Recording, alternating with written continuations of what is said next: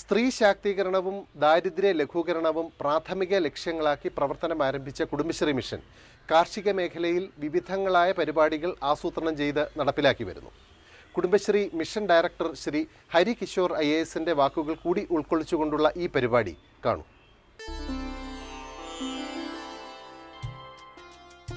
പണ്ടത്തെ ഗ്രാമചന്തകൾ കേരള സംസ്കാരത്തിന്റെ അടയാളമായിരുന്നു. പഴയ കാലത്തെ നന്മയിലേക്ക് ഒരു മടക്കയാത്ര. അതാണ് കുടുംബശ്രീയുടെ ഈ നാട്ടുചന്തകൾ. വീട്ടമ്മമാർ തൊടിയിലെ പഴങ്ങളും പച്ചക്കറികളും കൊണ്ടുവന്ന് വിറ്റ് ആ കാശ് കൊണ്ട് മീനും പല വ്യഞ്ജനങ്ങളും വാങ്ങിപ്പോകുന്ന നാട്ടുചന്തകൾ. പഴയ ഗ്രാമചന്തകളുടെ പുനർജന്മമാണ്. നഷ്ടപ്പെട്ടെന്ന് നാം കരുതിയ പഴയ കൊടുക്കൽ വാങ്ങൽ രീതിയുടെ മടങ്ങിവരവ്. വാട്ടുകപ്പ പുളി അച്ചാറ് നാടൻമുട്ട പാൽ തുടങ്ങിയ കാർഷികോൽപ്പന്നങ്ങൾ വീട്ടമ്മമാരുടെ കൈപുണ്യത്തിന്റെ കയ്യൊപ്പോടെ ഇവിടെ നിരക്കുന്നു. ഇവിടെ ഇടനിലക്കാരില്ല കള്ളപ്പറയില്ല. കള്ളവും ചതിയുമില്ലാത്ത ഈ ഉൽപ്പന്നങ്ങൾ വാങ്ങാൻ കുടുംബങ്ങൾ ഏറെ താൽപ്പര്യം കാണിക്കുന്നു. പരസ്യങ്ങളില്ലാതെ വെറും മൗത്ത് പബ്ലിസിറ്റിയുടെ പിൻബലത്തിൽ സ്ത്രീകളുടെ ഈ നന്മചന്തകൾ മുന്നേറുന്നു. അതെ കുടുംബശ്രീയുടെ നാട്ടുചന്തകൾ ഗ്രാമ നന്മയുടെ പ്രതിഫലനമാവുകയാണ്. കുടുംബശ്രീക്കൊപ്പം കൃഷി വകുപ്പും ഈ നാട്ടു നന്മയിൽ പങ്കാളിയാവുന്നു. കുടുംബശ്രീയുടെ കാർഷിക മേഖലയിലുള്ള പ്രവർത്തനവും കൃഷി വകുപ്പിന്റെ പ്രവർത്തനവും തമ്മിൽ വളരെ വലിയ സംയോജനമാണ് ഉള്ളത്. കഴിഞ്ഞ വർഷം ഗവൺമെന്റ് തലത്തിൽ തന്നെ ഇതിനുവേണ്ടി കൂട്ടായ ചർച്ച നടത്തുകയും ഏഴ് മേഖലകളിൽ പരസ്പരം സംയോജിപ്പിച്ചുകൊണ്ട് പ്രവർത്തിക്കാമെന്ന് തീരുമാനിക്കുകയും ചെയ്തിട്ടുണ്ട്. ഇതിന്റെ അടിസ്ഥാനത്തിൽ ചില മേഖലയിലെ പ്രവർത്തനം തുടങ്ങിക്കഴിഞ്ഞു. അതിൽ ഏറ്റവും എടുത്തു പറയാനുള്ള ഒരു മേഖല എന്ന് പറഞ്ഞാൽ നാട്ടുചന്തകളാണ്. വിഷമുള്ള പച്ചക്കറികൾക്കെതിരെയുള്ള ഒരു ക്യാമ്പയിൻ കേരളത്തിൽ നടക്കുകയാണല്ലോ. വിഷമില്ലാത്ത പച്ചക്കറികളാണ് കുടുംബശ്രീയുടെ സംഘകൃഷി സംഘങ്ങൾ ഉണ്ടാക്കുന്നത്. എന്നാൽ ഇത്തരം ഉൽപ്പന്നങ്ങൾ നാട്ടുവിപണികളിൽ വിൽക്കാനുള്ള മാർക്കറ്റിംഗ് അവന്യൂസ് കുറവാണ്. ഈ സാഹചര്യത്തിലാണ് കൃഷിവകുപ്പും കുടുംബശ്രീയും സംയുക്തമായിക്കൊണ്ട് കേരളത്തിലെ എല്ലാ പഞ്ചായത്തിലും ആഴ്ചയിൽ ഒരിക്കലുള്ള നാട്ടുചന്തകൾ ആഴ്ച ചന്തകൾ തുടങ്ങണം എന്ന് കഴിഞ്ഞ വർഷം തീരുമാനിച്ചു. ഞങ്ങൾക്ക് ഉള്ള ഫണ്ട് കൊണ്ട് നാനൂറ്റി അൻപത് പഞ്ചായത്തുകളിൽ നാട്ടുചന്തകൾ തുടങ്ങുകയും കൃഷി വകുപ്പിന്റെ ഫണ്ട് കൊണ്ട് നാനൂറ്റൻപത് പഞ്ചായത്തിൽ തുടങ്ങുകയും അങ്ങനെ കേരളത്തിലുള്ള തൊള്ളായിരം പഞ്ചായത്തുകളിൽ നാട്ടുചന്തകൾ രണ്ട് വകുപ്പും കൂടി ചേർന്നുകൊണ്ട് ആരംഭിക്കുകയും കുടുംബശ്രീ തുടങ്ങിയ നാട്ടുചന്തയാണെങ്കിലും കൃഷി വകുപ്പിന്റെ കർഷകരുടെ ഉൽപ്പന്നങ്ങൾ അവിടെ വരും. തിരിച്ച് കൃഷി വകുപ്പിന്റെ നാട്ടുചന്തയിൽ കുടുംബശ്രീ കർഷകരുടെ ഉൽപ്പന്നങ്ങൾ വരും. അപ്പോൾ ആ രീതിയിലുള്ളൊരു സംയോജനമാണ് ഏറ്റവും പ്രധാനപ്പെട്ടതായിട്ട് വകുപ്പ് തലത്തിലുള്ളത്. പിന്നീടുള്ളത് വകുപ്പിന്റെ വിവിധ സ്റ്റോളുകളിൽ അത് സൂപ്പർ മാർക്കറ്റുകളിലായാലും ഹോർട്ടികോർപ്പിന്റെ സ്റ്റാളുകളിലായാലും ഒക്കെ കുടുംബശ്രീ ഉൽപ്പന്നങ്ങൾക്കും കാർഷിക മേഖലയിലുള്ള ഉൽപ്പന്നങ്ങൾക്കും ഉള്ള വിപണി നൽകാനുള്ളൊരു തീരുമാനം എടുത്തിട്ടുണ്ട്. ഇതിന്റെ അടിസ്ഥാനത്തിൽ ഹോർട്ടികോർപ്പുമായി ചേർന്നുള്ള പ്രവർത്തനങ്ങൾ തുടങ്ങിക്കഴിഞ്ഞു. പിന്നെ മറ്റൊരു മേഖലയിൽ കൃഷി വകുപ്പുമായി ചേർന്നുള്ള പ്രവർത്തനം വാല്യൂ അഡീഷനാണ് കുടുംബശ്രീ കുടുംബത്തിന്റെ ഐശ്വര്യം. സ്ത്രീ ശാക്തീകരണം എങ്ങനെയാവാം എന്നതിന് കേരളം ലോകത്തിനു നൽകിയ മികച്ച മാതൃകയാണ് കുടുംബശ്രീ. വീട്ടമ്മമാരുടെ ഒഴിവ് സമയം ഫലപ്രദമായി ഉപയോഗപ്പെടുത്തി അവർക്ക് വരുമാനവും കുടുംബത്തിന് അഭിവൃദ്ധിയും നൽകാൻ കുടുംബശ്രീയുടെ പ്രവർത്തനങ്ങൾക്ക് കഴിഞ്ഞു. വീടിന്റെ അകത്തളങ്ങളിൽ ഒതുങ്ങിയ വീട്ടമ്മമാരുടെ കൈപുണ്യം ലോകത്തിനു മുന്നിലെത്തിക്കുവാൻ കുടുംബശ്രീ വേദിയൊരുക്കി. വീട്ടമ്മ വളരുമ്പോൾ വീടും വളരും. ഈ വാക്കുകൾ തെളിയിക്കുകയാണ് കുടുംബശ്രീ. വീടുകളിൽ നമ്മുടെ ഗ്രാമങ്ങളിൽ ഉൽപ്പാദിപ്പിക്കുന്ന വിവിധ കുടുംബശ്രീ ഉൽപ്പന്നങ്ങൾ നാടൊട്ടുക്കും ജനങ്ങൾ സ്വീകരിച്ചു കഴിഞ്ഞു. കാർഷിക മേഖലയിലും നിരവധി പദ്ധതികൾ കുടുംബശ്രീ നടപ്പാക്കുന്നുണ്ട്. വയലേലകൾ വളകിലുക്കത്തിന് കാതോർക്കുമ്പോൾ വനിതകളുടെ വിജയഗാഥകൾ കൃഷിയിടത്തിലും ഉയരുന്നു. കേരളത്തിന്റെ ദാരിദ്ര്യ നിർമ്മാർജന മിഷനാണ് കുടുംബശ്രീ. കുടുംബശ്രീ ഒരു ദാരിദ്ര്യ നിർമ്മാർജന മിഷൻ ആകുമ്പോൾ ജനങ്ങൾക്ക് കൂടുതൽ ഉപജീവന മാർഗങ്ങൾ കണ്ടെത്തി കൊടുക്കാൻ വേണ്ടിയിട്ടുള്ള ശ്രമമാണ് കുടുംബശ്രീ പ്രാഥമികമായി നടത്തുന്നത്. തീർച്ചയായും സ്ത്രീ ശാക്തീകരണ രംഗത്തും സംഘടനാ ശാക്തീകരണ രംഗത്തുമൊക്കെ ധാരാളം ട്രെയിനിങ്ങുകൾ കൊടുക്കുന്നുണ്ടെങ്കിലും കുടുംബശ്രീയുടെ ഒരു ഫോക്കസ് ലൈവ്ലിഹുഡാണ്. അപ്പോൾ ലൈവ്ലിഹുഡിൽ കുടുംബശ്രീയിൽ ഇപ്പോൾ മൂന്ന് ലക്ഷത്തോളം സെൽഫ് ഹെൽപ്പ് ഗ്രൂപ്പുകളുണ്ട് അയൽക്കൂട്ടങ്ങളുണ്ട്. നാൽപ്പത്തഞ്ച് ലക്ഷം സ്ത്രീകൾ കുടുംബശ്രീ അംഗങ്ങളാണ്. അപ്പോൾ ഈ നാൽപ്പത്തഞ്ച് ലക്ഷം സ്ത്രീകൾക്കും ഏത് ഉപജീവന മാർഗം കണ്ടെത്താൻ പറ്റും എന്ന് ചോദിച്ചാൽ ഞങ്ങളുടെ മുന്നിൽ മൂന്ന് വഴികളാണ് ഉണ്ടായിരുന്നത്. ഒന്ന് കാർഷിക മേഖലയിലുള്ള ഉപജീവന പദ്ധതികൾക്ക് പ്രാധാന്യം കൊടുക്കുക. രണ്ടാമതായിട്ട് മൃഗസംരക്ഷണ മേഖലയിലുള്ള പദ്ധതികൾക്ക് പ്രാധാന്യം കൊടുക്കുക. മൂന്നാമത് ചെറിയ സംരംഭങ്ങൾ തുടങ്ങാൻ വേണ്ടി അവരെ പ്രേരിപ്പിക്കുക. അപ്പോൾ സാധാരണയായി സ്ത്രീകൾ തങ്ങളുടെ വീടിനടുത്ത് കാർഷിക മേഖലയിൽ അധികം വിദ്യാഭ്യാസമില്ലാത്ത സ്ത്രീകളാവുമ്പോൾ വലിയ സംരംഭങ്ങൾ വലിയ ബിസിനസ് തുടങ്ങാനുള്ള ഒരു ഒരു ലീഡർഷിപ്പ് ആദ്യകാലത്ത് അവർക്ക് ഉണ്ടാക്കാൻ സാധിക്കില്ല. അപ്പോൾ തങ്ങളുടെ വീടിനടുത്ത് കാർഷിക മേഖലയിലും മൃഗസംരക്ഷണ മേഖലയിലും മികച്ച രീതിയിലുള്ള സംരംഭങ്ങൾ തുടങ്ങാനും ഈ മേഖലയിൽ പ്രവർത്തിക്കാനും അവർക്ക് താല്പര്യമുണ്ടായി. അപ്പോൾ ഈ ഒരു ലക്ഷ്യമാണ്. അതായത് ഉപജീവന പദ്ധതികൾക്ക് പ്രാധാന്യം കൊടുത്താലേ ദാരിദ്ര്യം മാറുകയുള്ളൂ. ഉപജീവന പദ്ധതികൾക്ക് ഏറ്റവും താല്പര്യമുള്ളത് കാർഷിക മൃഗസംരക്ഷണ മേഖലയിലാണ്. ഈ ബാക്ക്ഗ്രൗണ്ട് വെച്ചിട്ടാണ് ഞങ്ങൾ കുടുംബശ്രീയിലെ കാർഷിക മേഖലയിലുള്ള സംരംഭങ്ങൾ തുടങ്ങിയിട്ടുള്ളത്. മൂല്യവർദ്ധന രംഗത്തേക്കും കുടുംബശ്രീ പ്രസ്ഥാനം കടന്നുകഴിഞ്ഞു.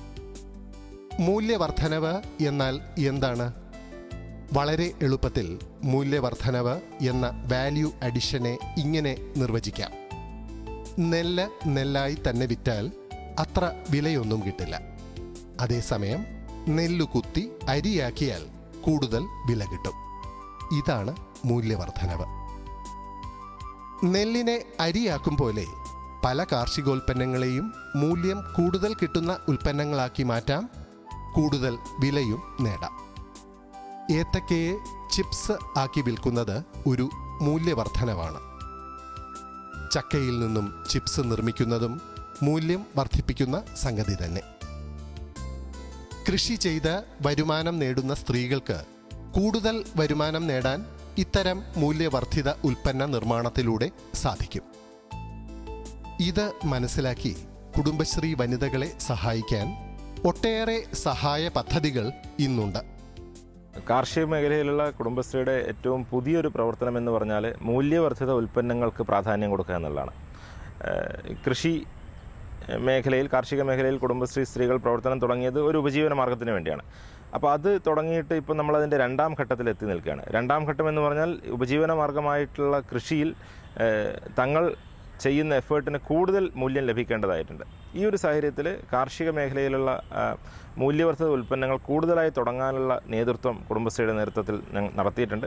പ്രധാനമായും ഫുഡ് പ്രോഡക്ട്സ് ആണ് ഇത്തരം മൂല്യവർദ്ധിത ഉൽപ്പന്നങ്ങളായിട്ട് വരാറുള്ളത്. ചിപ്സുകൾ അച്ചാറുകൾ തുടങ്ങിയ മൂല്യവർദ്ധിത ഉൽപ്പന്നങ്ങൾ അതേപോലെ വെളിച്ചെണ്ണയുടെ നിർമ്മാണം തേങ്ങ വെന്ത വെളിച്ചെണ്ണയുടെ നിർമ്മാണം വെർജിൻ കോക്കനട്ട് ഓയിൽ എന്നിങ്ങനെ വളരെ വെറൈറ്റിയുള്ള ഉൽപ്പന്നങ്ങൾ കാർഷിക മേഖലയിൽ കർഷകർ ഉണ്ടാക്കുന്നുണ്ട് വെള്ളരിക്ക കൊണ്ടുള്ള സോപ്പ് മുതൽ പിന്നെ നാച്ചുറൽ ഹണി വരെയുള്ള തരത്തിൽ മൂല്യവർദ്ധിത ഉൽപ്പന്നങ്ങൾ ഉണ്ടാക്കാൻ വേണ്ടിയുള്ള ഗ്രൂപ്പുകൾ കുടുംബശ്രീ തുടങ്ങിയിട്ടുണ്ട്. അപ്പോൾ കാർഷിക മേഖലയിൽ നിന്ന് കിട്ടുന്ന ഉൽപ്പന്നങ്ങൾ മറ്റൊരു യൂണിറ്റിലേക്ക് മൂല്യവർദ്ധിത ഉൽപ്പന്നങ്ങൾ ഉണ്ടാക്കുന്ന ഒരു യൂണിറ്റിലേക്ക് കൈമാറ്റം ചെയ്യുകയും ആ യൂണിറ്റിൽ വെച്ച് ഇത് മൂല്യവർദ്ധിത ഉൽപ്പന്നങ്ങളാക്കി വിപണിയിൽ എത്തിക്കുകയും ചെയ്യുന്ന പ്രക്രിയയാണ് ഇപ്പോൾ നടന്നുകൊണ്ടിരിക്കുന്നത്. കാറ്റടിച്ചുലയുന്ന കദളീവനം ഈ വാഴത്തോപ്പിൽ പ്രതിഫലിക്കുന്നത് വനിതകളുടെ അധ്വാന ഫലമാണ് തൊട്ടാൽ ചോര തെറിക്കും എന്ന് തോന്നിക്കുന്ന ചെഞ്ചീര. ഈ കൃഷി സമൃദ്ധിക്ക് പിന്നിലും മഹിളാമണികളുടെ അധ്വാനമാണുള്ളത്. ഈ കാണുന്ന കാർഷിക പുരോഗതിയൊക്കെയും വനിതകൾ നേടിയത് തരിശു നിലങ്ങളിലാണ് എന്ന് പറഞ്ഞാൽ വിശ്വസിക്കാൻ പ്രയാസം തോന്നും അല്ലേ? എന്നാൽ വിശ്വസിച്ചേ പറ്റൂ. തരിശെന്ന് മുദ്രകുത്തി കർഷകർ ഉപേക്ഷിച്ച നിലങ്ങളിലാണ് കുടുംബശ്രീയിൽ അംഗങ്ങളായ വീട്ടമ്മമാർ ഇക്കാണുന്ന നിറവിളവൊക്കെയും നേടിയത്. കുടുംബശ്രീകൾ കൃഷിശ്രീകളുമായി. ഇത്തരത്തിൽ അനവധി പുതിയ കാർഷിക സംരംഭങ്ങൾ കുടുംബശ്രീയുടെ ഭാവി പ്രവർത്തനങ്ങൾക്ക് ചൂണ്ടുപലകയായുണ്ട്. ഭാവിയെക്കുറിച്ച് ചിന്തിക്കുമ്പോൾ കുടുംബശ്രീയുടെ തലത്തിൽ മാത്രമല്ല കൃഷി വകുപ്പിന്റെ തലത്തിലും കേരളത്തിലെ കാർഷിക രംഗത്തും ഒരു മൂന്ന് തരത്തിലുള്ള മാറ്റങ്ങളാണ് വേണ്ടത് എന്നാണ് എന്റെ അഭിപ്രായം. കുടുംബശ്രീയിലും ഈ മൂന്ന് മാറ്റങ്ങൾ നടപ്പിലാക്കാൻ വേണ്ടിയിട്ട് ഞങ്ങൾ പരിശ്രമിച്ചുകൊണ്ടിരിക്കുകയാണ്. ഒന്നാമത്തെ കാര്യം ഓർഗാനിക്കിലേക്ക് പോവുക എന്നുള്ളതാണ്. അത് കൂടുതൽ മൂല്യം ലഭിക്കാനും ജനങ്ങൾക്ക് കൂടുതൽ ഡിമാൻഡ് മാർക്കറ്റിൽ കൂടുതൽ ഡിമാൻഡ് ഉള്ളതും കൊണ്ടാണ് ഓർഗാനിക്കിലേക്ക് പോകണം എന്നുള്ള തരത്തിലേക്ക് ചിന്തിച്ചിട്ടുള്ളത്. കുടുംബശ്രീ സ്ത്രീകളുടെ ഉൽപ്പന്നങ്ങൾ മിക്കവാറും സേഫ് ടു ഈറ്റ് ആണ് ഓർഗാനിക് എന്ന് വിളിക്കാൻ പറ്റില്ലെങ്കിൽ സേഫ് ടു ഈറ്റ് ആണ് വിഷ വിഷമില്ലാത്ത പച്ചക്കറികളും വിഷമില്ലാത്ത ഭക്ഷ്യവസ്തുക്കളുമാണ് കൂടുതലായി ഉൽപ്പാദിപ്പിക്കുന്നത്. ഈ ഒരു സാഹചര്യത്തിൽ ഓർഗാനിക്കിന്റെ പി ജി എസ് സർട്ടിഫിക്കേഷൻ ഒരു പതിനായിരം ഏക്കർ സ്ഥലത്തുള്ള കൃഷിയിൽ എടുക്കണം എന്നുള്ളൊരു ലക്ഷ്യം ഞങ്ങൾ ഈയിടെയായി എടുത്തിട്ടുണ്ട്. ഇതിനുള്ള പ്രവർത്തനങ്ങൾ തുടങ്ങിക്കഴിഞ്ഞു. അപ്പോൾ ഓർഗാനിക് കൃഷിയിലേക്ക് കൂടുതൽ കടക്കുക എന്നുള്ളതാണ് ഒന്നാമത്തെ ഭാവിയിലുള്ള ഒരു പ്രധാന വഴി. രണ്ടാമത്തെ വഴി ഞങ്ങൾ തീരുമാനിച്ചിട്ടുള്ളത് ബ്രാൻഡിംഗ് ആണ് മൂല്യവർദ്ധിത ഉൽപ്പന്നങ്ങൾ കൂടുതലായി ഉണ്ടാക്കുന്നുണ്ടെങ്കിലും മികച്ച ഒരു ബ്രാൻഡിലേക്ക് പോകാൻ സാധിച്ചാൽ മാത്രമേ വിപണിയിൽ ജനങ്ങൾക്ക് വിശ്വാസം വരുന്ന രീതിയിൽ ഉൽപ്പന്നങ്ങൾ വിൽക്കാനും ഉൽപ്പന്നങ്ങൾ കൂടുതൽ സ്വീകാര്യതയും ലഭിക്കുകയുള്ളൂ. ഈ സാഹചര്യത്തിൽ കുടുംബശ്രീയുടെ ഉൽപ്പന്നങ്ങൾ ഒരു നല്ല ബ്രാൻഡായി വികസിപ്പിച്ചുകൊണ്ട് കൂടുതൽ വാല്യൂ അഡീഷന് ഫോക്കസ് കൊടുക്കണം എന്നുള്ളതാണ് ഭാവിയിലേക്കുള്ള രണ്ടാമത്തെ ഒരു ചിന്ത. മൂന്നാമത്തെ കാര്യം എന്ന് പറഞ്ഞാൽ ടെക്നോളജിയുടെ സ്വാധീനമാണ്. കാർഷിക മേഖലയിലുള്ള തൊഴിൽ ചെയ്യുന്ന ആളുകളുടെ എണ്ണം കുറഞ്ഞു വരികയാണ്. അതേപോലെ കൂടുതൽ വരുമാനം ലഭിക്കണമെങ്കിൽ ടെക്നോളജി സൊല്യൂഷൻസ് കണ്ടുപിടിച്ച് മതിയാവും. അപ്പോൾ ടെക്നോളജി ഉപയോഗിക്കുന്ന ആധുനിക സാങ്കേതിക വിദ്യകൾ ഉപയോഗിക്കുന്ന കാർഷിക പ്രവർത്തനങ്ങൾക്ക് ഊന്നൽ കൊടുത്തുകൊണ്ട് അത്തരത്തിൽ സ്ത്രീകളെ പ്രോത്സാഹിപ്പിക്കാനുള്ള പോളിസി നയപരമായിട്ടുള്ള തീരുമാനം കുടുംബശ്രീ എടുത്തിട്ടുണ്ട്. ഏതെങ്കിലും ഒരു കർഷക സംഘം വനിതാ കർഷക സംഘം സാങ്കേതിക വിദ്യ ഉപയോഗിച്ചുകൊണ്ടുള്ളൊരു കാർഷിക രീതി പിന്തുടരുകയാണെങ്കിൽ അവർക്ക് നാൽപ്പത് ശതമാനം സബ്സിഡിയോടുകൂടി രണ്ട് ലക്ഷം വരെയുള്ള സബ്സിഡി കൊടുക്കുന്ന തരത്തിലുള്ള ഒരു പോളിസി കുടുംബശ്രീ ഏറ്റെടുത്തിട്ടുണ്ട്. ഈ മൂന്ന് മേഖലയിലുള്ള പ്രവർത്തനമാണ് ഭാവിയിലേക്കുള്ള കുടുംബശ്രീയുടെ ഈ ജൈവ കൃഷി സംഘങ്ങൾക്കായി ഞങ്ങൾ മുന്നോട്ട് വെക്കുന്നത്. ഇത് കൂടാതെ ഹോർട്ടിക്കൾച്ചർ മേഖലയിലും കുറച്ച് കേരളത്തിൽ കൂടുതൽ ഡിമാൻഡ് വരുന്നതുകൊണ്ട് ഇപ്പോൾ ഡ്രൈ ഫ്രൂട്ട്സ് വളരെയധികം ആളുകൾ കഴിക്കുന്നു. ഫ്രൂട്ട്സ് കഴിക്കാൻ വേണ്ടി ആളുകൾ താല്പര്യപ്പെടുവാണ്. അപ്പോൾ ഈ ഒരു ഹോർട്ടിക്കൾച്ചർ ഫ്ലോറിക്കൾച്ചർ മേഖലയിൽ കൂടുതൽ പ്രവർത്തനങ്ങൾ നടത്താനുള്ള ഒരു ശ്രമം ഞങ്ങൾ നടത്തുന്നുണ്ട്. ഇപ്പോൾ കഴിഞ്ഞ വർഷം നൂറ് പുതിയ പ്ലാന്റ് നഴ്സറികൾ കുടുംബശ്രീയുടെ നേതൃത്വത്തിൽ കേരളത്തിൽ തുടങ്ങിയിട്ടുണ്ട്. ഞങ്ങളതിന് ജൈവിക എന്നൊരു പേരാണ് ഇട്ടിട്ടുള്ളത്. അപ്പോൾ ജൈവിക നഴ്സറികളിൽ നിന്നും ആളുകൾ സാധനങ്ങൾ വാങ്ങുമ്പോൾ അതിൽ വലിയൊരു വരുമാനം കർഷകർക്ക് ലഭിക്കുകയാണ്. തൊഴിലുറപ്പ് പദ്ധതിയുമായി ചേർന്നുകൊണ്ടാണ് നഴ്സറി തുടങ്ങുന്നത്. അപ്പോൾ നഴ്സറിയുടെ ഇൻപുട്ട് കോസ്റ്റ് കുറച്ച് കുറയും. പിന്നെ മികച്ച ഉൽപ്പന്നങ്ങൾ നഴ്സറിയിൽ ഉണ്ടാക്കാൻ സാധിച്ചാൽ അതിനൊരു വലിയ മൂല്യം ലഭിക്കുകയും ചെയ്യും. അപ്പോൾ നഴ്സറിയിലേക്ക് ഹോർട്ടിക്കൾച്ചറിലേക്ക് പാഷൻ ഫ്രൂട്ടിന്റെ കൃഷിയിലേക്ക് അപ്പോൾ അങ്ങനെയുള്ള എന്താ പറയുക കൂടുതൽ വരുമാനം കിട്ടുന്നത് മാർക്കറ്റിന് ആവശ്യമായ രീതിയിൽ കൃഷിയെ മാറ്റാനുള്ള ഒരു ശ്രമം കൂടി ഞങ്ങൾ ഏറ്റെടുക്കുന്നുണ്ട്. രുചിയുടെ കൈപുണ്യത്തിലൂടെ മലയാളക്കരയുടെ മനം കവർന്ന കുടുംബശ്രീ കൃഷിയിടത്തിലും ഐശ്വര്യം വിതറുകയാണ്. അധ്വാനശീലരായ വനിതകളും ദിശാബോധമുള്ള നേതൃത്വവും ഒത്തുചേരുമ്പോൾ ഒന്നുറപ്പിക്കാം. കുടുംബശ്രീ പുതിയ പുതിയ വിജയഗാഥകൾ വിരചിച്ച് കേരള നാടിന്റെ കൃഷിശ്രീ ആവുക തന്നെ ചെയ്യും.